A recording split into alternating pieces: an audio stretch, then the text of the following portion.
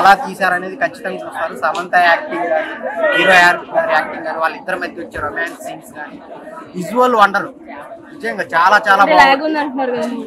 Log ఏం లేదు. అసలు అలా కూల్గా వెళ్ళిపోతుంటది. ఆ విజువల్స్ నేచర్ని చాలా క్లియర్గా చూపించారు. 3D లో చూస్తుంటే అసలు చాలా చాలా చాలా. పూర్గా ఉంది గ్రాఫిక్స్ అనేసి లేదు లేదు చాలా బాగుంది. సో కొత్తగా కొత్త ఎక్స్పీరియన్స్తో బయటకు వస్తారు సాంగ్స్ కానీ విజువల్స్ కానీ background music.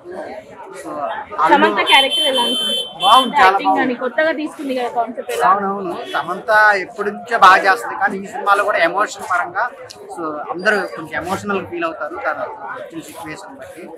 So Allu Arjun కూతురు కూడా చాలా బాగా చేసింది. విజువల్స్ పరంగా అయితే చాలా బాగుంది.